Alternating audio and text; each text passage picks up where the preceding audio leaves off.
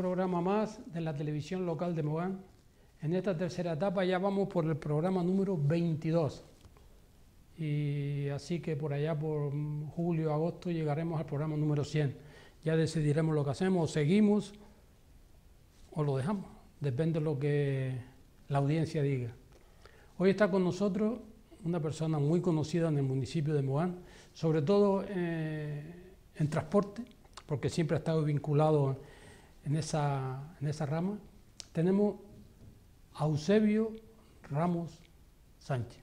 Eusebio, buenas tardes. Buenas tardes, Carmelo. Antes de empezar, quiero agradecerte por aceptar, aceptar la invitación de venir al programa. Te lo yo dije y de verdad que de entrada te quedaste un poco sorprendido, pero eh, me gusta que la gente automáticamente me digan que sí. Gracias a ti, porque sí, es verdad, me lo dijiste un viernes y te dije, Carmelo, hay un montón de gente en el municipio que tienen muchas más historias que contar que yo. Y tú me dijiste, lo que me dijiste, que me llamabas el sábado, digo, bueno, que de todas maneras también te digo que fue una manera de que entre el viernes y el sábado volviera un poco a la niñez y viendo, digo, pues la verdad que es que, que, ha ido uno viviendo y es cuando empezó a, a empecé a rebobinar lo que uno pasaba. Si lo, ahora mismo, por ejemplo, hace más de, a lo mejor, a lo mejor se ha llegado a una conversación con la familia o con alguien, pero a lo mejor tú hace más de 30 o 40 años que no recuerdas tu niñez. Por lo menos que no le daba importancia. Y que no le daba importancia. De vez, en cuando a lo mejor pensaba cuando era pequeño que hacía esto, pero bueno, seguía, seguía la vida. Pero en estos días empecé, digo, bueno, pues a, empecé a valorar un poco, a ver desde que pequeñito en los tomateros con mis padres, y digo, pues la verdad que más o menos hay uno Vamos a empezar por ahí. Vamos a empezar por ahí.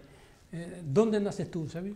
En la aldea de San Nicolás, San Nicolás de Tolentino. Ah, pues mira, un municipio que con el municipio de Mogán siempre se han llevado muy bien. Sí, sí, y un municipio luchador que siempre hemos estado por todo, casi toda Gran Canaria repartida. Y un, un municipio alejado de, porque prácticamente ahora ya empiezan a tener carreteras, empiezan a tener autopistas, pero tú imagínate hace 40 años eh, ir a la aldea hace 50 años ir a la aldea era eh, de verdad que... Sí, bueno, yo, la, yo por ejemplo en ese entonces, eh, una parte de, mi, de mi, mis abuelos vivían en Mogán, eran de la aldea pero vivían en Mogán y, y era todavía la carretera de tierra, cuando yo pequeñito era la carretera de tierra para ir por esta zona, por allá era, entre Verde y todo eso era casi imposible porque eran 3, 4 horas para ir desde Las Palmas hasta hasta la aldea. De eso vamos a hablar ahora, de eso vamos a hablar ahora. Ahora, a un retroceso de, muchos años, ¿qué es lo, que, primero, lo primero que se te venga a la cabeza? ¿Qué es lo primero que recuerdas cuando tú tenías 3, 4 años, 5 años? Pues estar con mis padres en los, en los tomateros y tengo anécdotas también pequeñitas porque después empecé a pensarlo en estos días y es eh, mojando las tiras cuando las mojamos en las, en las tanquetas con cuatro, o cinco años, cuatro años o cinco años y, recuerdo en una de ellas que caí dentro y mi padre me recogió y me llevó al hombro para... ahora me haces ese recuerdo porque cuando Castro, conoces a Castro, ¿no? Sí. Eh. Estuvo el otro día en el programa también y contó la misma, casi una parecida cuando tenía que mojar las tiras. Pues no, eso era un tanque de donde estaba había que remojarlas y mi padre, mientras estaban ellos, mi padre y mi madre en los tomateros, pues mi hermano, que es dos, años más que yo, y yo, era en la, Para nosotros era grandísima, pero ahora la mira y no cabemos dentro. Pero, y, y, con las piernas mojando, y me acuerdo siempre que se me fue, me acuerdo siempre, recordando todo esto de que se me fueron las piernas y caí dentro. ¿Y caí dentro de la tanqueta? caí dentro de la tanqueta, pero mi padre estaba por la zona, desde que mi hermano gritó, fue y me sacó de allí. Pero como eso, eso es lo primero que recuerdo ahora mismo y después también más... Sí, pero ahora, o sea que eh, tenían que tener eh, hojas de platanera, o sea, no hojas, el tallo de la platanera para quitarla, para remojarla. ¿Cómo, cómo, cómo era el proceso para, para sacar las tiras? yo lo que sí recuerdo, bueno, después ya eso de grande también, pero en ese entonces lo que recuerdo era en la misma orilla de, de, la, de los tomateros venía el camión, quien le encargaba todo eso con la con la garepa que se llamaba. O sea, con los rolos. Los rolos, pero ya con la garepa sacada, no era el rolo en sí, sino las hojas. Las hojas no la, la garepa. La garepa, sí. Y ahí estaban, se, las ponían a secar, me acuerdo de verlas en, los, propios surcos, en las, en las cañas eh, colgar, y cuando estaba seca total es cuando ya la empezamos a remojar para sacar tiras, unas tallas y eh, así. El rastrillo. El rastrillo, pero tacha. eh, Eran rastrillo, tachas grandes así que rastrillo para arriba. De, de la casa. De la casa, sí, sí, sí. Entonces, eh, yo creo que la aldea y Mogán, Arguineguín, eh, eh, hacían el mismo proceso.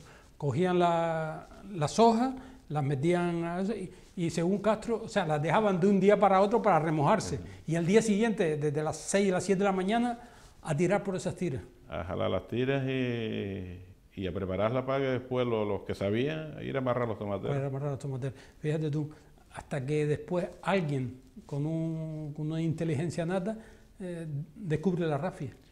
Eh, sí, ya eso fue a los, a los años, ya yo casi que en Arguineguín ya, es cuando ya se empezó con la rafia, que toda esta ladera por aquí para arriba se plantaba de tomatero. Pero todo esto era, Y- yo recuerdo cuando mi madre era, eh, eh, se plantaba con, yo me acuerdo que tenían los faldones esos así, con un saco se lo hacían aquí, metían aquí y la tira mojada Sí, y sí. después, a lo mejor cuando ya era las 11, las 12 de la mañana, ya cuando hacía ese calor, ya la tira se secaba. Había que Había cogerla a y a remojar. remojarla. para- imagínate tú el, el proceso ese.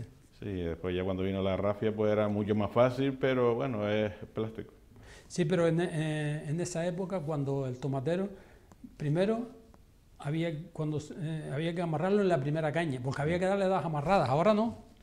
Sí, en ese entonces era cuando llegaba la primera caña y después otra vez cuando llegaba la segunda, pero ahora ya le ponen la rafia desde abajo y se van enredando. solamente enredando para... Pero bueno, son métodos que han ido mejorando y, mm, o sea, más, que haya sido más fácil, porque ahora mismo ya los tomateros y casi todos están en invernadero, ya se plantan y eso solo va al sitio. Por eso, es, eh, por eso es bueno, yo, por eso te comentaba a ti de, de los programas, es porque eh, quien tenga menos de 50 años le dice, la- le dice no, la- las tiras de platanera, cómo se hacían las tiras de platanera, cómo se amarraban los tomateros, no saben. No saben, por eso es bueno recordarlo.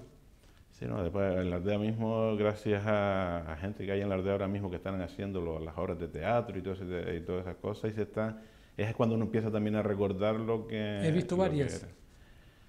Pero bueno, eso es Entonces, uno de los- eso, eso es lo primero que recuerdas eh, con tus padres, pues sacando las tiras de platanera y, y como me cuentas que una vez agarrar, arrastras por ella y ca- o sea, cuando estabas mojando las tiras cae dentro de la tanqueta.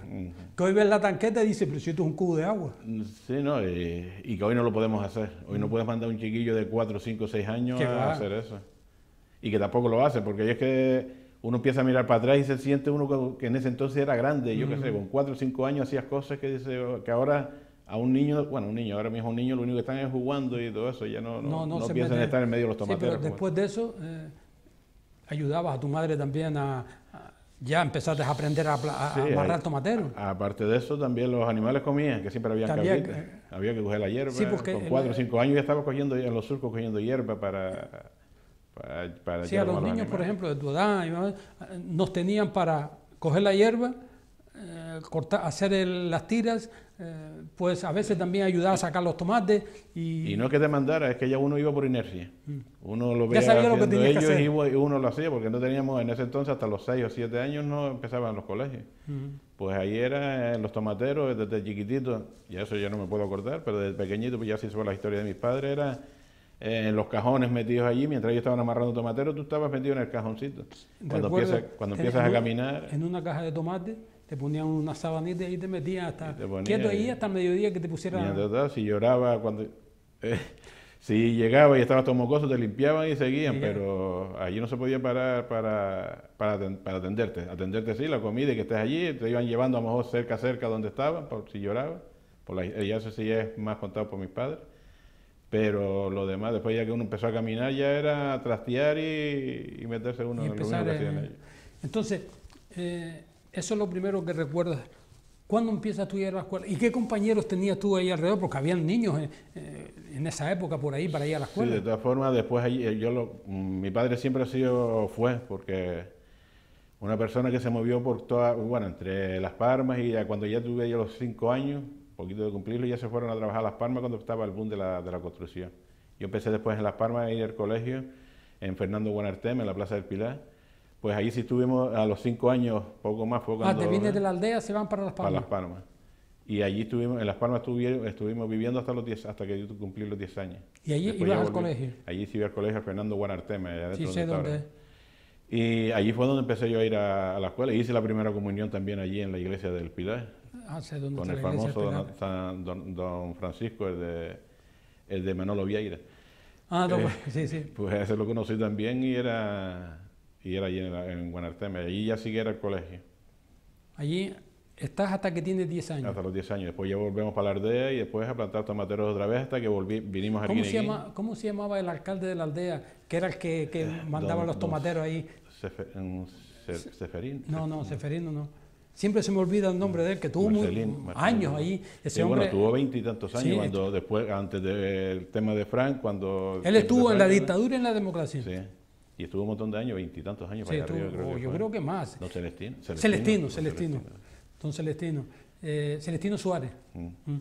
Ese estuvo muchos años. Ese, eh, yo creo que ese era arriesgado y, y era el que, que- que promocionaba el cultivo de tomate en, en la aldea, porque yo creo que él también tenía sus fincas Sí, ahí. yo creo que todavía las tiene, estaba después la, la misma Marcén. Y, Entonces, de Las Palmas, primero empiezas en la aldea, te vas para Las Palmas, estás hasta los 10 años, después te vienes para la aldea otra vez. para la aldea. Y después ya, bueno, yo después, allí estuvimos yendo, mi padre después trabajaban aquí en Puerto Rico, mi padre trabajaba en Puerto Rico. Ah, eh, cuando el boom cuando, turístico. cuando se estaba haciendo los muelles, Ujú. los puertos, eh, sí, Puerto Rico, la zona de Puerto- los muelles de Puerto Rico, con las, empresas que estaban ahí. Y ya luego se fue para la aldea un año, él, porque mi madre, después estaba nada más que porque mi hermano y mi padre sí trabajaban aquí. Y mi madre y yo pues tuvimos, le llamaban la- una fanegada de tomatera. Sí, una fanegada. Y es- 12, éramos los dos. 12 celemines. 12 12 celemines que es una fanegada. Y éramos nosotros los que estábamos. Mi padre fue los fines de semana cuando iba para allá, es cuando iba a los tomateros. Y ya eso ya después, ya a los 14, lo- bueno, a los 14 años, a los 13 años y poco, de los 10 hasta los casi los 14 años, estuvimos en la aldea. O sea que tu padre durante toda la semana, hasta el sábado por la mañana, trabajando, o hasta el viernes por la tarde, Normalmente después, los viernes por la tarde. y después iba para la aldea y el, el descanso del viernes, sábado y domingo eran los tomateros. Los tomateros cuando estaba la zafra. Había que raspar y había que... Sí, lo que, lo que había que hacer, eh, pero mientras era, bueno, yo tenía en ese entonces, era con dos, eh, 13 años de reventar, los 13 años, pues ya yo estaba con mi madre pues en los tomateros. Y Entonces tu madre y tú tenían una fanega de tomateros. teníamos tomateros y a los que estábamos allí casi, después y después ya no, eh, a los 13 años, y ya los 14 años los cumplí aquí. Nosotros creo que fue en el mes de mayo del 75, o marzo del 75, y en agosto cumplí yo después ya los 14 años aquí, después ya, bueno, ya seguimos aquí. O sea, ya te viene, o sea, que tu trayectoria es la aldea, Las Palmas, Las Palmas, la aldea, Y la aldea. aldea. ¿A dónde te vienes por primera vez cuando Aquí. te vienes aquí al municipio de Mogán? Aquí hasta un viaje de años, hasta un montón de años eh, en Vento. Vento. que yo creo que medio arguineguín ha pasado por Vento, Sí. el que no vivía trabajaba. Que ahí fuiste, un medio, que ahí fuiste un medio revolucionario en Vento. Bueno, allí en los eh, trabajando un par de veces, tipo no sindicalista, pero sí un par de veces me tuve que me un Allí poco donde, allí donde fuiste empezaste a ser conocido. Y después allí ya, pues con veinte y pocos años fue cuando empecemos, formemos una asociación de vecinos arriba, porque ¿Cómo se llamaba la ciudad? el Cañaón. El Cañaón. El Cañaón de Vento.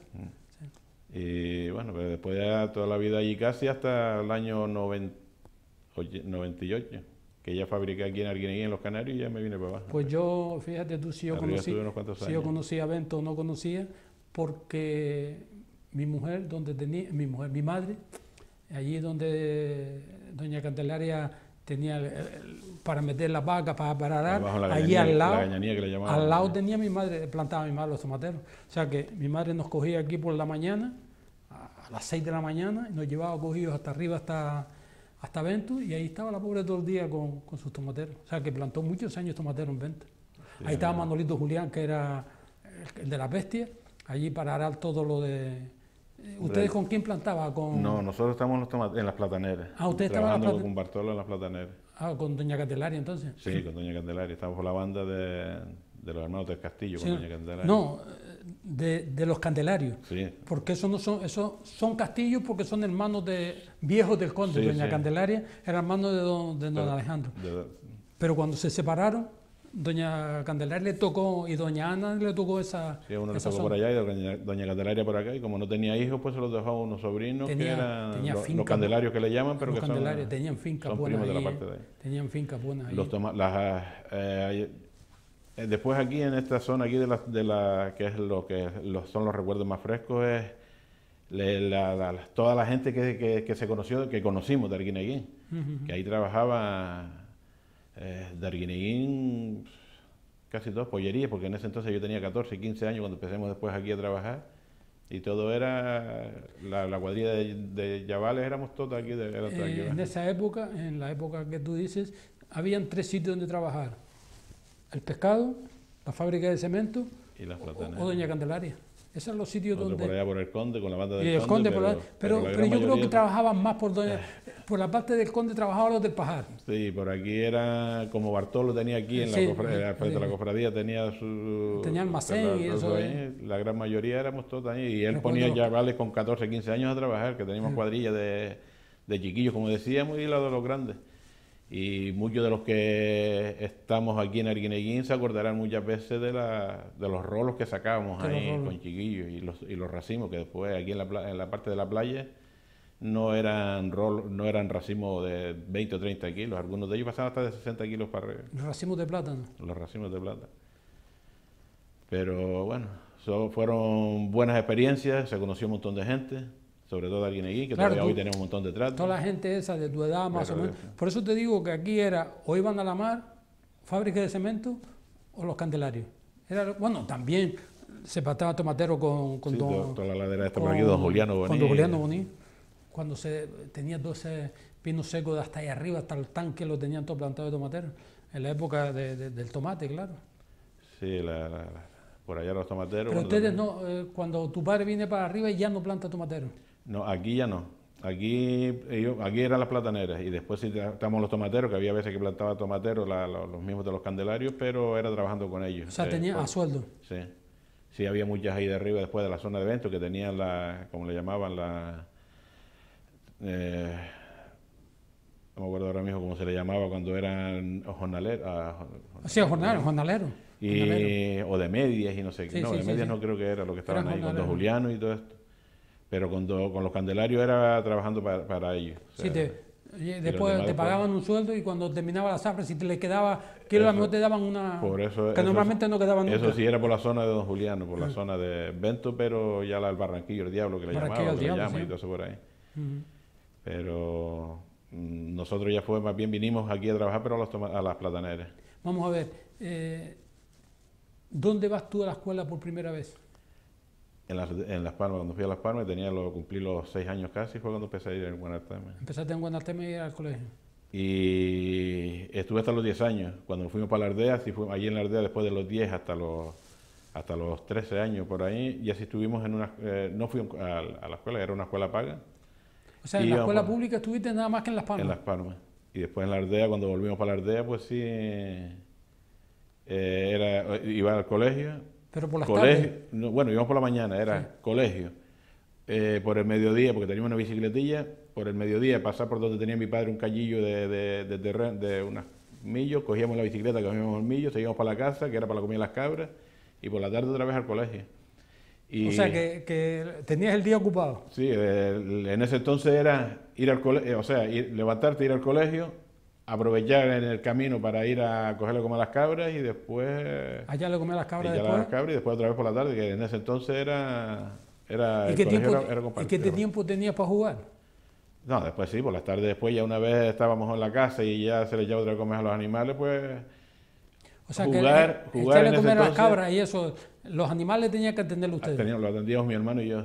Normalmente sí, bueno, mi padre por la ordeñaba o tal, pero normalmente era cuando no cuando eso era cuando no había tomatero, cuando se acababa la, la zafra, pues después era un terrenillo que tenía para allí, pues a cogerle de comer y, y ella O sea, que tu pues. padre nunca, nunca los tuvo ustedes quietos, siempre les tenía haciendo algo. Sí, ¿no? Y los juegos allí, tú sabes cómo era eso, que era también los, los, los collitos esos que hacíamos jugando allá, porque no había, ¿qué había? En la aldea mismo era, lo hacíamos nosotros mismos con las, con las pargatas, hacíamos las ruedas y los carritos. Y los colles de o, o, los colles de vergas y los colles que venían de plástico y que, lo, y lo, ¿cómo se llama? Los, los, muñecos, los indios que al final los colocaba y tenía que echarle tierra para que se mantuviera. Pero eso... Sí, ¿te acuerdas los, los muñecos de lavazó? Sí, los que venían del lavazó los venían de aquellos. Y que yo recuerdo que, yo le decía a mi, mujer, a mi madre, le decía, yo a mi madre le decía, mamá, que se le está acabando el lavazó y era para que meter la mano y sacar los muñecos que que venían. Era, hombre, era otro tiempo de no se conocía más nada y eso era... No había otra cosa. Era una ilusión de tenerlos los muñequitos. Yo muchas veces se lo digo a mis nietos también que ya, y, a, mis hijos. hoy es antihigiénico, pero les recuerdo, yo me acuerdo y les digo cuando yo pequeño también, como con 8, 9, 7, bueno, era en la aldea ya, malamente teníamos los 12 años y más pequeños los cubanitos que le decíamos que venía con un papelito por medio y te decía, te salía y decía premio y a te daban una pelotilla de esa que era con un elástico o, te daban otra y todo eso era una ilusión. Eso, eso no te lo dejan vender en ningún sitio. Bueno, que ya hoy en día todo eso es antihigiénico, pero que antes decía los cubanitos. Y metía el papel dentro. metía el papel dentro y te decía el regalo que te daba. Y una pelotilla de plástico era. Pues, eh, aquello era, aquello era un, lujo. O los yoyos, eso que le llamaban y todo eso. Pues. Entonces, estás yendo a la escuela. Pero te voy a hacer una pregunta directa. ¿Te gustaba ir a la escuela? Realmente no. Tenía que ir por obligación.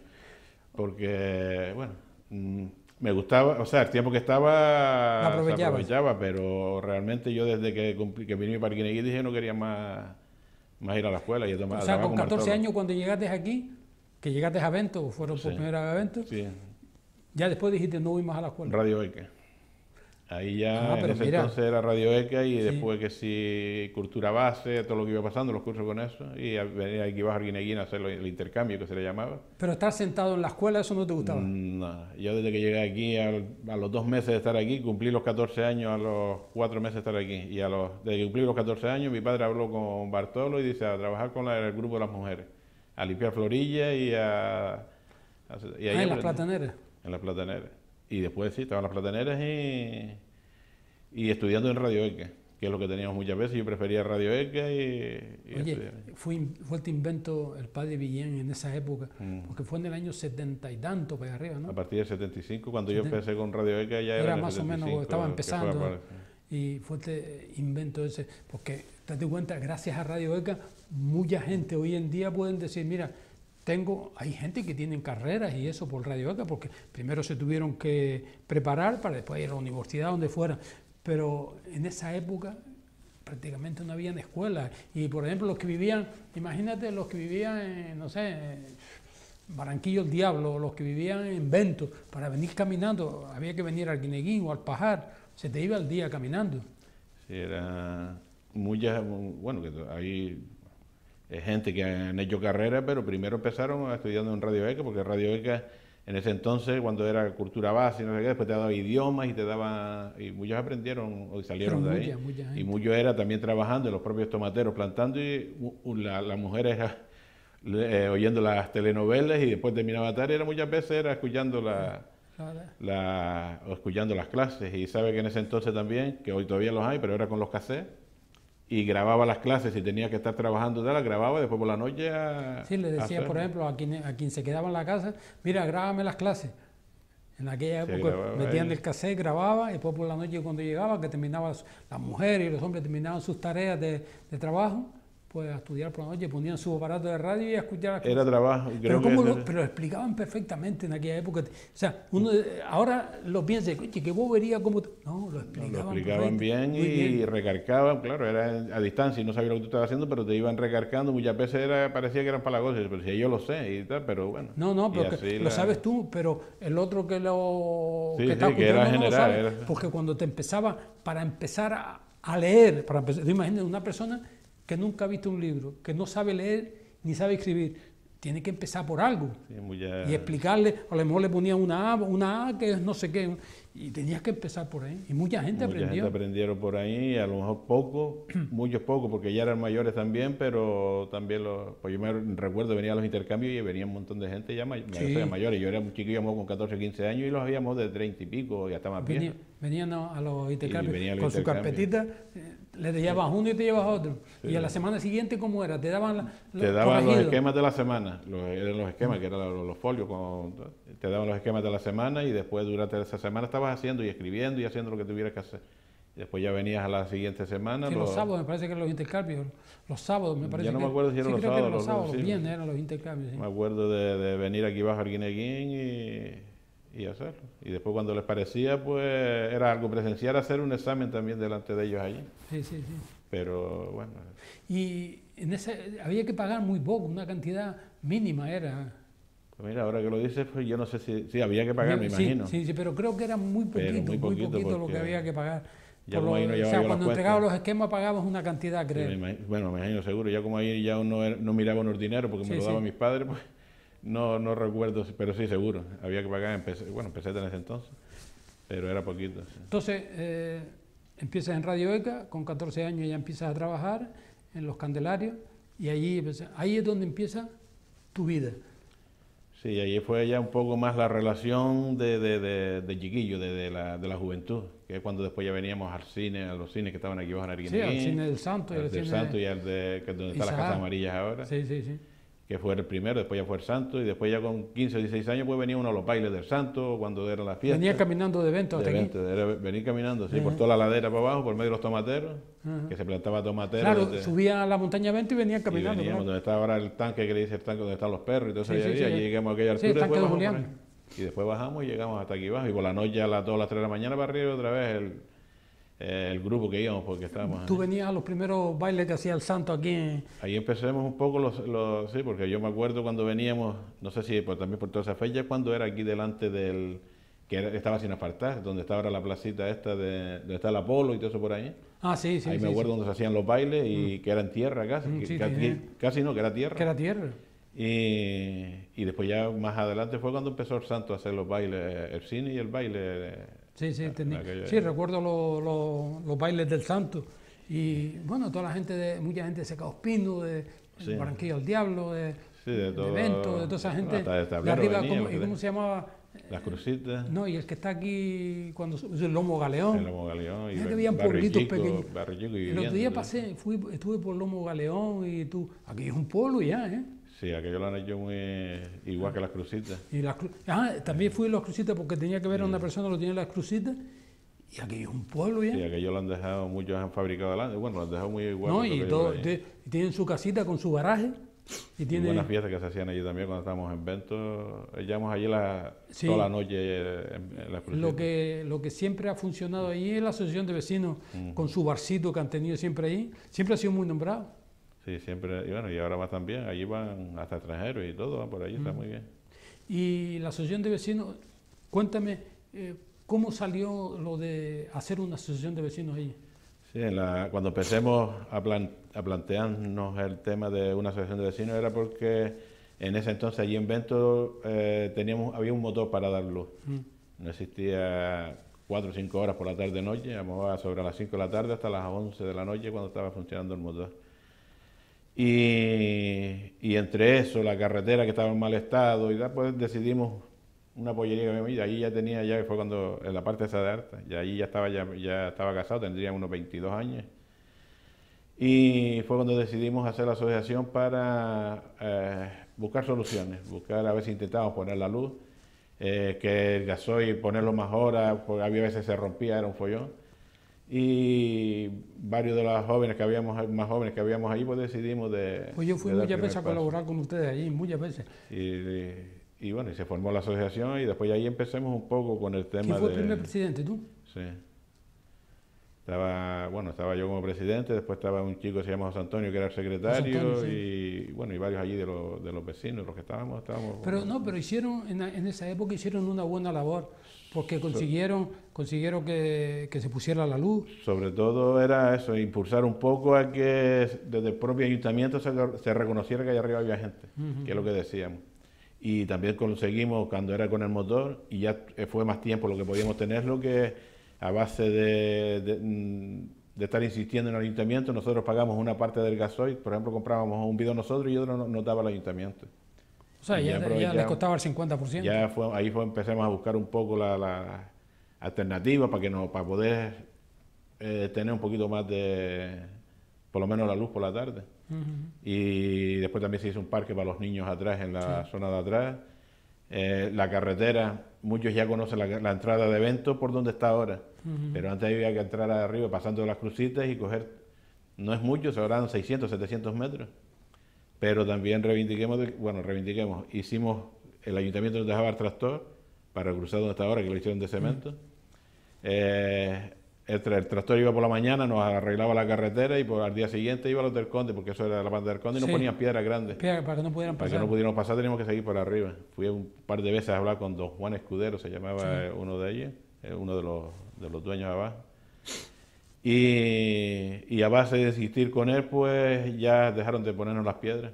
Y con el tiempo, pues o sea, que ya el ayuntamiento lo arreglaba por la mañana y ellos le ponían la piedra por la ponían los pedruscos grandes que no podíamos pasar. Muchas veces empezábamos a moverlo con las manos, pero era imposible. Y después, pero el ayuntamiento ahí se enro- muchas veces se, se enrollaba, como decíamos, y, y colaboraba, porque claro, ya que era de tierra, decíamos, en vez de ir a dar la vuelta de arriba, intentar cruzar lo más cerca posible. mm. Y entre eso y después con la luz, con lo del tema de la luz, que era más delicado por el tema, o más complicado, de, porque los dueños querían que no fuéramos, los dueños No, de los dueños, no los, los candelarios, eh, estuvieron insistiendo muchas veces para que desapareciera y se pueblo. desapareciera y, y no querían dejarnos pasar los y, hoy de en la di- luz. y hoy en día, ¿cómo está eso? Eh, sigue siendo de los mismos de los mismos dueños que estaban en ese entonces. Y después de insistir mucho con el tema de, la, de que nos permitieran eh, poner la luz, porque eh, en ese entonces recuerdo que incluso empezaban con el tema de las placas solares y me, me reuní un par de veces en Las Palmas para intentar poner placas solares. Pero en- en ese- no es como ahora que ya No, es más sí. fácil. Y en ese entonces, pues, te hablo ya de, de 30 años por lo menos. Eh, fue imposible de poner placas solares. Y se, se siguió mandando escrito al ayuntamiento, hablando con los, candel- con los candelarios. Yo fui un par de veces a Las Palmas y el ayuntamiento en ese entonces sí estaba, era don Guillermo Bueno, el que estaba de alcalde. Y, y creo que Jacinto Ramírez el que llevaba un poco del tema de, de obra o algo así. Y fuimos un par de veces a hablar con, con los candelarios en Las Palmas. Y siempre, siempre me acuerdo que yo le decía, mira, nos deja poner la luz, que el día que el ayuntamiento haga viviendas, pues nos comprometemos que si el ayuntamiento cede vivienda, pues nos vamos y echamos las casas abajo. Y siempre me acuerdo que don Juan del Castillo lo que me decía era, no, no, ahora, ahora me viene usted solo. Si pongo la luz y después la quito porque ustedes no se van, me viene toda la gente y no dejaba.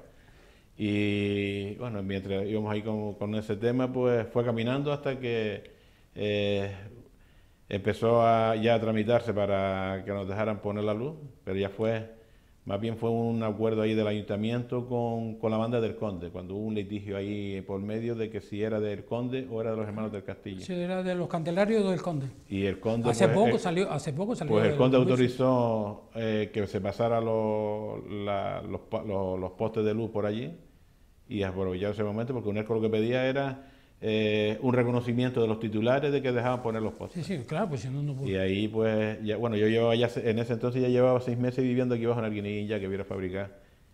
Y, y, dejar, y se pasó la luz y hasta la fecha. Entonces- y se apartó, después lo apartaron también. Entonces, eh, usted- eh, los que viven ahí le pagan directamente la luz a UNESCO. Sí, y ahora es UNERCO, sí. Aquello es. UNERCO, bueno, Sí, porque pues, ya, ya eso yo creo que de ahí ya no lo van a echar nadie, porque eso ya está, eh, está consolidado, ya. Sí, bueno, si lo hay llevan más de 30 pero- llevan más de sí, sí, no, 30 y hay años Más de 30 años. más de 30 años Ya, llevan ya tienen pero- derechos adquiridos. Pero bueno, ya... Pero se ha seguido fabricando allí. No, no, allí son las cuarterías que estaban, aquellos eran cuarterías, bueno, habrá Se han arreglado las casas y todo eso, pero fabricar no. Ahí no deben fabricar No, nada. Lo que han hecho es el que tenía una casita tal, pues ahora yo una terracita adelante y todo eso. Lo mismo que pasa en Crucita. en las crucitas, en el Crucita, pero en Crucita sí se ha fabricado. No, No, fabricar, sino fabricar solamente no. se, se han, Sí. se han- Han hecho, sí, fabricar en el tema de mejorar lo que estaba. Sí, sí, sí, poner... el- Y en Vento pues ha pasado más o menos lo mismo, pero Pero no están legalizadas esas casas. eh, es que ya no sé decirte, legalizadas como cuarterías, porque tienen su número, tienen las calles, que todo se lo puso el ayuntamiento. Lo que pasa es que después no Pero- están en pero- titularidad, en titularidad, titularidad de, lo, de, de los que Pero, están viviendo pero los, eh, los que viven ahí están empadronados allí. en el municipio. Sí, Ah, pues eso ya está. Eso es... Eso Sí, es porque eso estaba yo cuando estaba en su momento. Pero y- si tú, si tú estás empadronado, o sea, si el ayuntamiento permite que se empadrone, ya de lleno, ¿y quién lo puede? ya? Ningún litigio puede ya... Ellos estaban en- bueno, ellos, la gran mayoría, yo creo que todos, pero desde, desde ese entonces que yo estaba, que hace ya desde el año 98, que me, 98 cuando me vine para Guineguí, pues allí un hermano mío que vivía conmigo, pues se quedó con la... Se quedó Pero sigue habiendo, sigue habiendo asociación de vecinos, ya, la- Creo que no. ya no está. Nosotros hicimos allí una habitación y todo eso, eso lo quitaron. Sí, yo recuerdo la habitación. y, y creo, creo que no estén, hasta unos cuantos años después sí, pero bueno, ahora mismo eh, entre ellos vienen al ayuntamiento y le arreglan, lo, vallean un poco la carretera cuando está mal y parece que más o menos eh, está funcionando, la, no la, sino particularmente, pero no como asociación. Pero yo creo que ahora mismo quedan dos asociaciones en el municipio de Mogán, que es la de Ventoré, ¿cómo Ventoré se llama? Ventoré y la del Horno. La del Horno, esa, esa siempre ha funcionado. Está, un poco a lo mejor ahora aparcada, pero... En ese entonces lo que pasa que era cuando el movimiento vecinal casi, cuando empecemos con todo eso. La primera asociación que se hace en el municipio de Moán, y hay que recordarlo, eh, fue Ramón Libó, que Arguine. Hay que hacer una mención especial a Ramón, porque fue el primero, el primero del municipio de Moán que se metió en las asociaciones, o sea, en, el movimiento vecinal. En aquella época recuerdo que él me dijo, no, lo tienes que entrar conmigo. Y yo, ¿para qué voy a meter en problemas? Ahí? Pero hoy en día hay que hacer un reconocimiento especial porque tanto Arguineguín como Playa de Mogán, como Mogán Pueblo, como Vento, como Barranquilla Andrés, todo eso consiguieron muchas cosas por las asociaciones de vecinos. La presión que se hacía se consiguió pues mucho. El movimiento vecinal en ese entonces eh, ayudó, ayudó mucho en el tema de, decir a los ayuntamientos, aquí estamos, el pueblo quiere también participar y se empezó con las asociaciones de vecinos porque eh, después se crearon las federaciones de asociaciones y ya teníamos más contacto, por ejemplo, eh, aquí estaba la, se hizo la Federación Sur, me parece que se llamaba, y estaba un poco vinculado también con la Ardea y con la zona de San Bartolomé. Y y se hicieron e, en, ese entonces se hicieron muchas cosas y es lo que ha continuado ahora. No hay asociación, bueno, no hay, que yo sepa, sigue Ventorey, arriba en, Barranquillo Andrés también creo que están, eh, la de Pino Seco y, y donde está, ¿cómo se llama? Que la lleva Jenny también. Creo ah, Jenny, estaba Miguel Ramírez, ¿no era? Miguel es de, de Pino Seco. Pino Seco. Y Jenny la de Las Lomas. Las Lomas. Y bueno, y broca más, no sé si después no, lo que pasa Lo que pasa es que cuando ya el ayuntamiento toma cartas en el asunto, que se hace, ¿cómo se llama? Eh, son los que toman, ya a partir de ahí las asociaciones no empiezan a tener ya... Sí, ya no tienen el mismo empuje que teníamos en ese entonces, porque ya casi que con que vayas tú al ayuntamiento y le digas que tiene este problema, con todas, las, todas hoy en día todas con las con los, las aplicaciones y todo eso. las redes sociales que... Le mandan un mensaje y enseguida ya va y te arreglan las cosas. Pero antes teníamos, bueno, y hacer manifestaciones. Antes teníamos que, teníamos que, estar haciendo manifestaciones para, para casi todo porque no se te, no estaba, eh, no se te escuchaba. Y bueno, y después ahí, pues... Eh, tanto en Vento como en cualquier otra, las fiestas las hacíamos desde las propias, nosotros en Vento las hacíamos las fiestas junto con las crucitas. Ah, sí. Eh, como era poco lo que había, era poca gente, pues nos uníamos los dos, los dos barrios y, se hacían las fiestas. Igual que eh, en el horno, que era a través de, la asociación arriba. Y... Entonces te viene desde las crucitas, te viene para Guineguín. ¿Qué edad tenías ya cuando te vienes para Guineguín? Pues, pues podría tener, eh, porque fue en el año, en el año 98, eh, 30 y pocos años, 30 y... O sea, que tuviste hasta prácticamente tenías 30 años, tuviste en, en Vento. En Vento sí, hasta los 30 y poco, 35. Pero ahí, te, eh, ¿cuándo te casas tú? ¿En Vento o en Arguineguín? En Vento, sí. bueno, vivía, yo vivía en las cuarterías, cuando, con mis padres en las cuarterías que ya hoy no existen, donde está la autopista. Había mucho vivienda, no sé si te acuerdas, que donde mismo está ahora la rotonda. Sí, sí, sí. Allí donde vivía. Y cuando me casé, pues fui a vivir arriba a Vento, en el Vento Alto que le decía. Y allí fue donde después, bueno, mis hijos nacieron en Las Palmas, pero era como si hubieran nacido allí, porque estuvieron allí. Y ya cuando ellos tenían unos 14 años uno y la otra 12, fue cuando ya un poco eh, decidí fabricar, buscar aquí abajo para porque más bien era un poco por los chiquillos, porque para cualquier cosa sí ya no era como, como cuando nosotros veníamos. Y hay que estar un poco más cerca donde estaban los servicios. O sea que ya te vienes a Arguineguín y aquí Arguineguín es donde montas ya tu Sí, y ahí a, mi casa, que tengo 22, 23 años, creo que llevo aquí debajo. ¿Cuándo empiezas tú a trabajar en, los taxis? Ah, no, ya eso estaba en Vento. Yo empecé en los ¿Tú estabas en Vento cuando mm. empezaste en los taxis? En el año 86 empecé yo con quién, los taxis. ¿Quién era tu, tu jefe? Eh, la licencia es la 49 es mi cuñado Manolo. Manolo, tú lo, bueno, no sé. Sí, Manolo, Manolo, Manolo Rubio. Manolo Rubio. Pues si quieres que te voy a contar una de estas, porque Manolo Rubio, la licencia la sacó con la licencia de mi padre. Con la 10. Con la 10, que esa era de mi padre, que hoy es de mi hermano, pero de ahí yo calculo que por lo menos 8 o 10 personas sacaron licencia con, Sí, con ahí la de mi padre. sí. Yo recuerdo Manolo cuando trabajaba con el taxi de mi padre. Y ahí fue cuando le dieron la licencia. Y ahí empezaste tú con tu cuñado. Cuando a él le dieron en el año 87, en abril del, 80 en el- en abril del 86, fue cuando le dieron las licencias a ellos, cuando ya dejó de trabajar con tu padre. Sí, sí, sí, sí. Y después yo empecé en septiembre a trabajar con él, septiembre del 86. ¿Y cuándo te dan a ti la parada? En diciembre del 94 después. En ese entonces es cuando con 7 años después, con más o siete, menos. ocho años estaba normalmente. Había algunos que lo cogieron antes, que es cuando estaba el boom turístico. Y empezó que habíamos poco, habíamos 54 coches nada más en ese entonces. Cuando te dieron a ti la parada, 54. Cuando yo tengo la 90, pero cuando cuando yo empecé a trabajar había 54 coches. 54. Estaba hasta las 54. Y, y después, bueno, después de ahí para acá, pues he estado en, O sea, entonces, eh, entonces, ¿cu- ¿cuántos años estás tú con tu cuñado para que te den la parada? Ocho años. más o menos unos 8 años, desde Después- el año 86 hasta el 94. ¿Y cuántas paradas dieron cuando tú... En ese entonces dieron 12. 12 paradas? Y después, ahí, Después de bueno, eso han dado tres veces más. Sí, no, ya han dado unas. Sí, Tres, cuatro sí porque ya vamos por las 173 unidades que vemos ahora mismo. en el municipio. 173. Y normalmente siempre se iban dando entre 10 o 15. Y yo creo que se han dado unas 4 tandas más. pa. Mm. Y bueno, las últimas veces que dieron 30, o la última vez. Ujú. Pero de eso hace ya un montón de años. Sí. eh, montón No, ya hace ya 20 años que le dieron Por lo la- menos 15 o 20, 15 años para allá no, arriba tiene que ya. 20 ¿no? también. La época fue la época de. Paco González.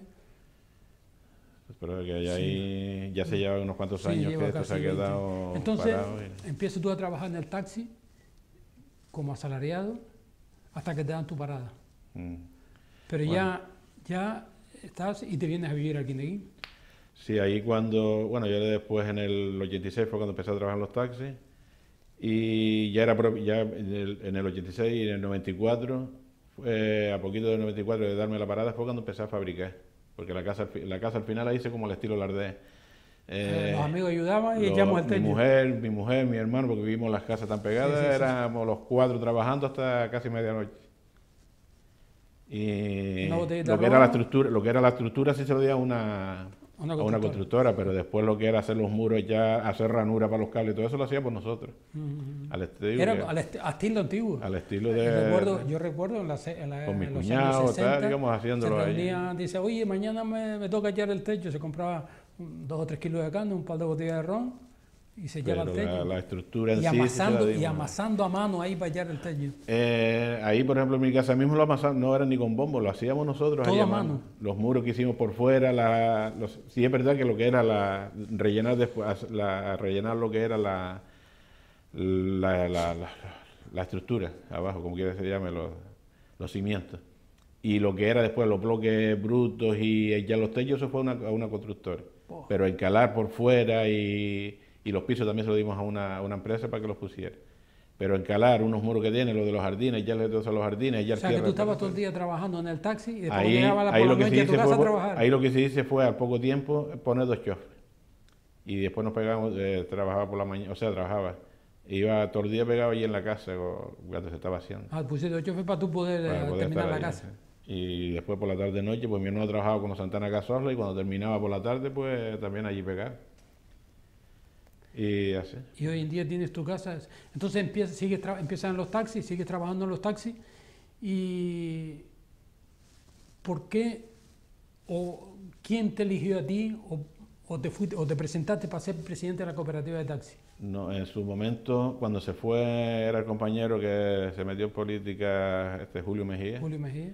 Pues me, me pidieron, me dijeron que si quería también acompañar a la directiva que estaba, en ese entonces era vocal. Y ahí, bueno, yo creo que eso fue, tiene que ser unos 22 años por, ahí largo. Ahí ya entré como, directi- como directivo. Después, pues, hasta que se iban marchando algunos cuando se cada que había elecciones, hasta que ya me metí más de lleno en lo que era la, de los cinco cargos Era como vocal y después ya tuve unos años con, con otro compañero que era el tesorero, el secretario. Y ¿Tú fuiste después secretario también de la, de la cooperativa? de la cooperativa estuve de secretario y después en el año con Ramón para Descanse, con Ramón la 41, estuve, él eh, estuve de secretario con él y él cayó enfermo, creo que fue en el año en el 2007, 2007 creo que, que fue cuando 2006 o 2007 cayó, cayó malo, tuvo que dejar la presidencia y, y cogió la presidencia porque era el vicepresidente Amado Ramírez. Y ahí estuvimos más o menos ocho o nueve meses, que yo seguía siendo el secretario y él, y él era el presidente porque Ramón tuvo que gustar. Sí, porque tuvo que sustituirlo. Y después ya en el 2008, en el 2008 hubieron elecciones otra vez, no, me no nos presentemos, nos fuimos nosotros los que estábamos y, le dijimos, y y hubieron elecciones y entraron otros compañeros. Y al año más o menos, pues después entré, entré yo como presidente, después de haberme ido. Al año entré como presidente y después ¿Hubo convocatoria o, fue porque sustituiste al que estaba? Eh, no, en ese momento fue que, bueno, con problemas como hay en estos sitios, había compañeros, habían compañeros que decían de que eh, había que quitar los que estaban por las razones o por lo que tal.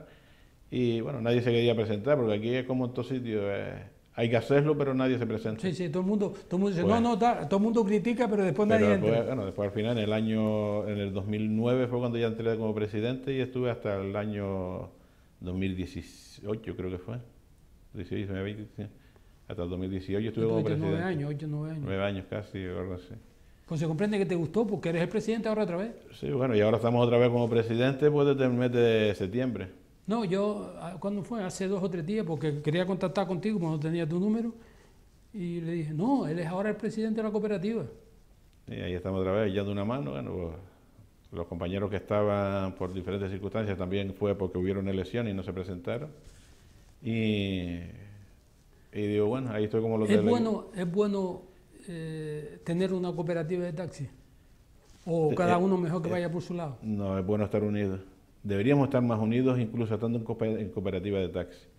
Porque un poco lo que buscamos es la unificación de trabajos y prestar mejores servicios. Tenemos los talleres, ahora el surtidor.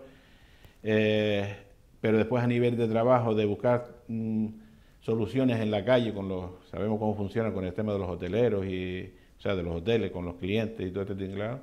Y es bueno estar unidos. Pero desgraciadamente cuando somos casi 400 y pico personas o 500 personas que vemos ahí, pues somos 100, 173 licencias, pero la gran mayoría, muchos de ellos tienen dos chofes, o el patrón y un chofe, y somos unas 400 y pico personas que vemos ahí. Son un montón de cabezas pensantes y cada uno quiere hacerlo a su manera, pero estando en la cooperativa intentamos por lo menos buscar trabajos y, prestar servicio a la gran mayoría de todo lo que... Y no, y no solo eso, sino que no es lo mismo comprar una talla que un saco talla. Sí, para los temas de los servicios. Y, ahora, por ejemplo, con lo, de la, lo del gasoil, por ejemplo, no dejará beneficio, pero las cuotas serán menores. No, las cuotas se siguen pagando lo mismo, pero tiene un servicio ahí. El problema que tenemos con los combustibles, como por estar ahí, es la guerra que hay en estos sitios. Aquí más o menos vamos escapando un poco, porque todas las gasolineras por la zona casi que tenemos el mismo precio. Jugamos un poco ahí con el mismo beneficio pero se nos está acercando un poco lo que hay en vecindario que están... Oye, eh, por eso eso es lo que... De, vas a una gasolinera, el precio de la, gasolina uno, vas a otro sitio, pero hay diferencia entre eh, un sitio y otro. La gasolinera esta de Lonco que le llaman, o algo parecido, eso... Eh, muchas veces miro y digo, es que el precio que tienen a la calle es inferior incluso a que nosotros compramos. Y los demás... Pero bueno, no sé si es la misma calidad del carburante, si es la misma, si es mejor, si es peor, pero algo tiene que haber porque al final, bueno, esto lo Alanco lo traen directamente, creo que de Península o algo. Algo tiene que ser, pero yo porque te digo... en DISA, que, que o sea, nosotros compramos a Sex, a Especan, pero que al final se lo tramita con, con Sexa, pero DISA es la que tiene la, almacenamiento. O sea que a veces, a veces ellos tienen la gasolina más barata que lo que ustedes la compran. lo que la compramos muchas de las estaciones por los alrededores. Fíjate tú si, la, si el precio del combustible ha subido. Y ahora una barbaridad lo que está hace un año Hace un año ponías 10 euros de gasolina y ponías casi 11 litros. Pones 10 litros de gasolina, ahora son 8 litros y medio. Sí, es que ahora mismo están o sea que, eh, pico más, pico menos, entre 1,20 y 1,30 el litro, que eso es una barbaridad. Que casi 3 litros menos en, cinco años, eh, en un año, casi 3 litros menos solo en 10 euros. Quiere decir que si llenas un depósito que son 60, son, son 18 litros menos. Eh, lo que llevamos de año ha subido cuando estaba el gasoil mismo, que es lo más que se gastamos arriba por los taxis, que malamente llegaba al euro, que era 0,98, 0, y está uno Bueno, y esta semana, el que me mandaron ahora, es para ponerse, yo estoy intentando no subirlo mucho, pero está a 1.10, para, para que tengamos que venderlo a 1.16. ¿A 1.16? Y yo lo tengo, creo que es, o sea, yo no, la cooperativa lo tenemos, creo que lo subimos esta semana a 1.12, creo que es, que más o menos 1.12, 1.13 están por ahí, pero es incluso dejándolo por abajo del precio que nos aconseja la, la, la, que nos vende el combustible. Por eso te digo que, por eso cuando tú, eh, lo que me acabas de decir ahora, que si eh, una gasolinera vende por, por abajo del coste, del coste que tienen ustedes, yo de verdad que no, lo entiendo. No, me lo explico. Bueno, yo siempre sigo diciendo, yo lo he hecho en la gasolinera donde tengo confianza de que eh, es más caro, pero bueno, pero bueno, después en eso que estamos hablando con el tema de la eh, de la unión, pues lo que buscamos las cooperativas siempre es que eso, que los repuestos, aunque muchas veces puedes ir también a alguna tienda donde lo pueden tener más barato, pero traemos siempre de, de, tenerlo lo, más asequible posible. Más asequible posible y negociar con, la, con, la, con las empresas para que nos dejen un poco más barato. Pero bueno, como se decía antiguamente, cuando las asociaciones siempre la unión hace la fuerza, pero con el tema de cada vez va menos. Tú lo sabes que para poner a 400 personas de acuerdo. Eh, Nada más que si, poner si no se ponen de, si no se ponen de acuerdo dos personas, imagínate cuando las reuniones en todas las en todas en las asociaciones de vecinos, asociaciones de empresarios, asociaciones, o sea, eh, cooperativas de taxi, todo eso, cuando hay una reunión, imagínate, a lo mejor hay 40 personas. ¿Quién pone de acuerdo 40 personas? Eh, y gracias a que las, mayorías son, las mayorías son las que ganan siempre, pero, pero eso... Yo como te digo que como desde los 20 años, pico más, ha estado metido siempre en jaleo de tal, pues mira, ya parece que lo lleva uno en la sangre, porque Mm, bueno, lo dejé atrás un poco, que aparte de las asociaciones, y en su momento creemos también, eh, no sé si te acuerdas, de Altacaite, que era una asociación contra, de, la, drogodependencia. Sí, sí, sí. Ahí, tú, ahí tú tuviste bastante tiempo. Ahí estuve también unos años y bueno, ahí se hacían un poco de poco con los colegios y después con los propios, la gente que nos llegaban un poco, de ayudándoles. Y, Pero eso ya no existe, ¿no? No, eso hace unos años, aunque hace poco me llamaron también, porque también del gobierno de Canarias, porque estaba, todavía, está, todavía está dada de harta en, la, en, lo, en esto de, drogodependencia eh, del gobierno de Canarias, pero no está, no está funcionando. Hace, después que yo me fui, o que nos fuimos unos, un par de ellos, o sea que dejemos y dejemos un poco que lo hicieron otros compañeros. Lo que pues pasa es que que ya los ayuntamientos, todos esos servicios prácticamente en servicios sociales, antes date cuenta que los ayuntamientos no tenían servicios sociales, no tenían nada de eso. Después de que los ayuntamientos eh, adquieren servicios sociales y tienen su concejal de servicios sociales, todas esas cosas ya han ido, Sí, pues ya casi que lo llevan también los servicios sociales, porque en ese entonces yo más de una vez tuve que acompañar a alguien al tablero que donde estaba Arcá y a Las Palmas, y tuvimos que un poco dándole facilidades para que intentar que que volvieran un poco al cauce que decíamos de, la, de lo normal, pero bueno. Y, y, como eso, pues siempre ha estado un poco eh, en jaleo, como digo yo, jaleo. Entonces, eh, la aldea, Las Palmas, Las Palmas, la aldea, la aldea, Vento, Vento Arguineguín. Y aquí, están, y aquí yo creo que ya es cuando meten uno Eso es lo que te voy a preguntar. ¿Tú crees que este es el último? Nunca se sabe, porque ¿tú crees que este es el último destino tuyo? Sí, bueno, las intenciones son esas. Y ya el trabajo lo tengo aquí, no es como cuando mis padres, cuando eran jóvenes y era buscando el trabajo donde lo había, porque los, en la aldea eran más que los tomateros y, y, poco más, y ya se movió en la construcción mi padre y pues iba, iba moviéndose. Cuando tú llegas por primera vez al Guineguín, que ya lo conocías porque venías de evento, venías aquí, eh, el entorno de la gente, ¿cómo, ¿cómo veías tú el entorno de la gente? La gente que... es otra manera de evento porque bueno, eh, ya de todas formas ya todos los conocía porque llevaba años, mm, mi, mi, yo donde menos estaba era en Vento porque trabajaba en el taxi, venía y estaba todo el día por fuera, como te lo dice aquí en la zona, tanto en la zona como en Puerto Rico y ya los conocía, conocía las calles, conocía todo lo que había. Pero a nivel de, de por la noche, estar sentados ahí fuera, caminar nada más que a la luz de la luna porque no había, no había luz porque mis hermanos vivían en la parte de atrás, en el Barranquillo, y vivían en la otra de acá. Y yo sigo diciendo, yo sé que ahora ya unos más, más viejos y parece que la vista me va perdiendo, pero por la noche jugamos hasta la pelota allí, ya grande, jugamos y no, no y, y, se veía. Y hoy en día si no utilizas la luz no... No, y sin luz no haces nada. Y el entorno allí era, bueno, era más de... Éramos pocos vecinos, donde estaba eran ocho, y, ocho viviendas. la vida ha evolucionado a mejor, pero eh, los recuerdos de antes, cuando te sentabas con los amigos hablar o a decir chistes o en un entorno, eso no existe ya. Porque mira, yo te lo digo por, los chiquillos, a lo mejor de 10 o 12 años, a lo mejor hay uno allá y le va a decir, mira, ¿quieres venir a, a mi casa? Le mando un WhatsApp, no se lo dice, le mando un WhatsApp, aunque de una cámara a otra. Le mando un WhatsApp. Ahora por decir tú de sentado me acordé todavía más atrás todavía, cuando vivía en la aldea. Eh, me acuerdo un vecino, un vecino. Las casas, mi padre era en medio de la montaña, había tres o cuatro casas y otra en la carretera había, había uno. Y ahora me acordé donde cuando había los partidos de fútbol, porque la radio ah. tampoco, no había mucha radio tampoco, era que lo tenía, lo tenía. Y se sentaban en la acera y me acuerdo de, los partidos de fútbol de Las Palmas que lo oía, porque él lo ponía allí y lo oíamos todo. el todo el mundo Y los goles o eso lo cantábamos, aunque sea de, 500 metros más allá, era como si estuviéramos viéndolo.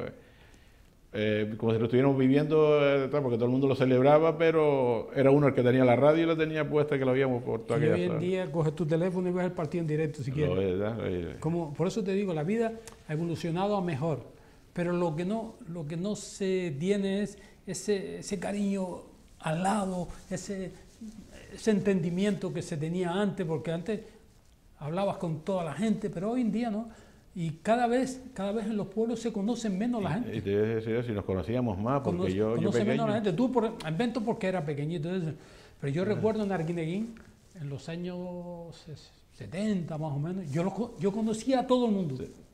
Yo me paso ahora por Arguineguín, voy a dar una vuelta, y a lo mejor se me acerca un chiquillo, de, un muchacho de 30 años, hola Carlos, ¿y tú quién eres?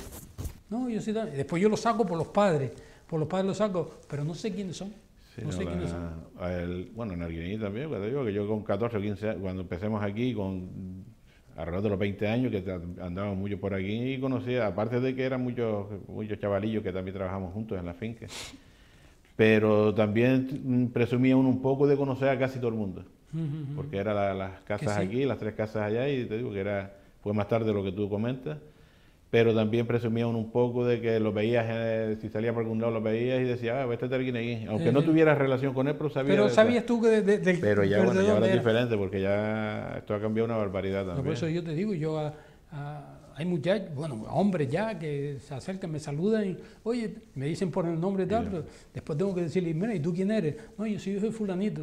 Claro, yo soy amigo del padre de toda la vida, o de la madre, o de, de los hermanos, o, o del abuelo. Pero claro, no los conoces y no sabes quiénes son. Sí, ellos ven a uno y lo conocen, porque pasa con lo del fútbol y todo eso. Yo me acuerdo de estar en el fútbol también hace unos años y era con los, juveniles que tenemos.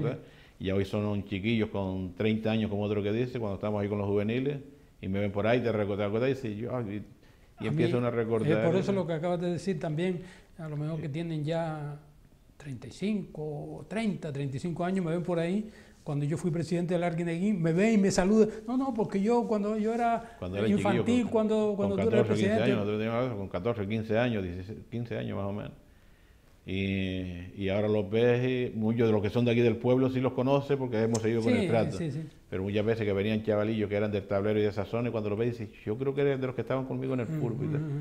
y, y, es bueno recordar todas esas cosillas. Por eso yo te dije, cuando cuando yo te dije, oye Ramón, ¿por qué no viene Eusebio? ¿Por qué no viene?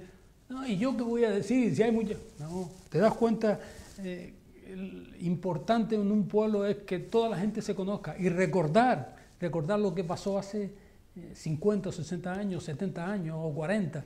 Es bueno recordar porque eh, ahora mismo se te viene a la mente cuando tú eras un niño de 5 o 6 años, cuando tenías que mojar las tiras para, para sacarlas, para que tu madre amarrara los tomateros. Yo digo que en el día a día uno no mm, vas haciendo, vas caminando y no le estás poniendo la importancia. o sea, lo haces, sigue y tal, pero cuando ahora, cuando tú me lo dijiste, que empecé a rebobinar, digo, ¿y qué voy a contar yo? Y después empecé, digo, pues, al final dices tú, es que tengo una historia detrás de mi propia vida que al final no le das importancia cuando llegas a una Una historia de tu vida que a lo mejor ni tus hijos saben, hombre, saben muchas cosas de, que tú les has contado, pero, pero no de cuando tú a lo mejor tenías que sacar tira o de cuando tú tenías que preparar tira para que tu madre o, te, o, ibas con la bicicleta a la escuela y después tenías que coger homillo o hierba para echarle a las cabras. O sea que... Era, bueno, es otra vida. Otra vida y que ahora hoy en día no, mm, no se valora porque lo tenemos, o sea, lo tenemos todo. Antes del Día Reyes eso era la mejor ilusión del mundo porque es cuando tenía algo que te regalaban, algo. Pero ahora es que el Día Reyes, para mis nietos mismos, es mejor todos los días que el Día Reyes, porque al final todos los días, cada vez que quieren algo, se les compra. Por eso, mira, ahora mismo acaba de sacar. Y no valoran lo que tienen. Una cosa a colación. Eh, hace. Va a ser un mes que fueron los Reyes.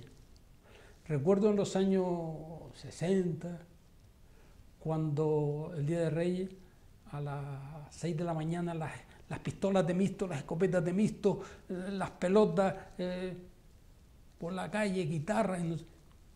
Mira, fue el Día de Reyes, el día 5 por la noche del día, no escuché nada, ni un niño en la calle, ni un niño en la calle. Y nosotros en esa época eran las escopetillas esas de misto, ¿te acuerdas? Las, pistolas, de, las pistolas de misto.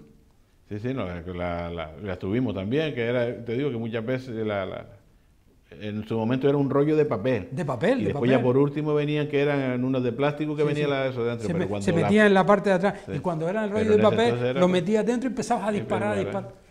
O, los mistos, ¿tú te acuerdas de los mistos? Los mistos eran eh, como pistolas, pero eran una, una, una, tira así y le ponía un, poquito así, que eso después por último lo usaban para los ratones, ah. le ponía y después cogía con un martillo y empezaba pero eso, cualquier, bueno, cualquier cosa, con lo que había se divertía uno y llegaba el momento en que... Por eso te digo lo, de los reyes que acabas de recordar. En mi casa, bueno, en mi casa, la de mis padres, en la Ardela, que tenemos todavía abajo, eh, mis hijos y mi nieto cuando van, empiezan a mirar porque todavía tenemos allí reyes, me acuerdo una cuba que venía, de, ya eso era más grandillo. Todavía tenemos cosas allí que allí se quedó y allí se paró aquello, pues hace, bueno, vine en el 75 para acá, del 75 aquello se paró, lo que estaba, que dejaron allí, ahí está, y está, parece un expositor allí con, con las cosas. Y darle algo a un niño hoy en día, te lo digo por los que tengo, por mis nietos, darle una cosa hoy en día que le aguante un año. ¿Cómo un año? El siguiente no sirve ya. Y, la, y todavía tengo, tenemos cosas de que uno lo ve y dice, ya, lo que, lo, lo que ha cambiado. Lo que tenía. Fíjate, tú, tú dices que no tenía nada que contar. Y, todavía si seguimos aquí podemos estar hablando pues dos o tres horas más. Fíjate, tú ya llevamos una hora. Más de una hora llevamos ya. Dios, pues ha pasado rapidito. Te das cuenta es que te pones a hablar, te pones a decir, te y, se va el tiempo por el aire. La verdad que sí, que, la, que como te dije el viernes cuando me llamaste, no tengo nada que contar. Pero bueno, si nos sentamos como hacemos, como hacemos, como hacen ahora, que la, la, la, juventud no lo hace, pero vas a la zona arte de Pino Seco, como en cualquier bajo, y aquí vas donde se siente, se sienta por ahí, yo qué sé, los que, gente ya más mayores, y ahí empiezas a sacar las conversaciones cuando empiezan a hablar y... Empiezas a recordar. Y a recordar. Porque tú sabes lo, que, lo, lo, lo, lo, importante de estas cosas. Por ejemplo, ahora cuando vean el programa este tuyo, van a decir, no, sí, yo también, yo también sacaba tiras. Yo también tenía que sacarle los tomates a mi madre, yo también tenía que ya lo comía a las cabras. Entonces empiezan a recordar cosas que hace 50 o 60 años que no... es que Arguineguín era también, o sea, aparte de la pesca y lo que decía Tare, Toda esta montaña se... se todo Pino Seco era todo tomatero. Era de tomatero. Pues, cuando bajamos por ahí para abajo era la gente de Arguineguín plantando tomatero. Nosotros por medio de los surcos para abajo, para no, para no cortar la carretera. ¿Para no la carretera? Pues cogíamos por medio de los canteros para abajo y cruzábamos aquí debajo donde había una jibe antes por aquí. Por... Sí, la jibe de, que, de la que se surtía Arguineguín sí, de, del agua. Estaba por ahí donde estaba el centro de salud, por ahí por esa zona estaba, por, por aquella zona. Por ahí. Salud, por ahí bueno, que lleva un barranquillo, no había carretera tampoco, que estaban las casas de donde estaba Manolito y... Bueno, y te digo, y en la finca pues después con gente mayores, como era Manolito, Juanito Artiles y toda esta gente, y los de Mariquita Antonia, la, sí, sí, sí. O sea, Dancito y todo eso que, y toda esa gente que, era... Y son gente que quedan en el recuerdo que estaban ahí, pero bueno. Eusebio, de verdad que gracias por recordar tiempos, tiempos, tiempos, que eso no debería de olvidarse nunca. Lo que pasa es que, claro, el tiempo va pasando y gracias que nosotros poco a poco lo vamos grabando en la, televisión de Mogán y, de vez en cuando yo le digo a ellos que pongan un programa, por ejemplo, cuando venía Narciso hace mm. seis o siete años, o venía Carlitos de la playa de de Mogán, o venía eh, toda esa gente, muchos de ellos no están entre nosotros ya, pero es bueno tener esas grabaciones para siempre. Eh, yo de todas maneras sí, las gracias sí te las doy a ti porque fue, primero no lo pensaba, pero yo creo que salió más beneficiado yo porque empezaba a, a rebobinar. Pues te doy las gracias y amigos vamos a seguir siempre. Siempre, porque hemos luchado mucho en Mucho. la Hemos estado muchos años manifestación. frente. Bueno, si empezamos a hablar con la manifestación cuando la autopista, no- no- hasta Tenerife fuimos un grupo Sí, a pero, no, por eso no quiero, no quería sacar eso, porque si no, entonces no tenemos con una hora. Tenemos pero que bueno, seguir. pues, Pues muchísimas gracias. pues gracias a ti. Y a ustedes convocarlos para un próximo programa el próximo miércoles. Muchísimas gracias.